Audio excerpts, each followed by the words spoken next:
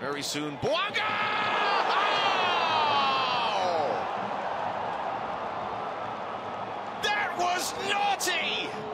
Remember, when Denis Bouanga was signed last year, everyone was saying, well, hold on, why? Zac MacMath can't get strong enough of a touch over. And that's just laces, left foot, power, placement, accuracy. It's only goal for the Red Bulls this year. Trying to make it through. This is from distance. Oh, it's a goal! It's Omir Fernandez! But I'll take anyone in an argument in you telling me that Fernandez is not the most creative player on the field wearing red.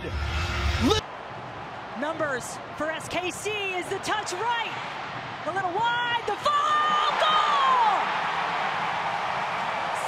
You got the runners into the box, understanding of where there's players, and that's an excellent finish.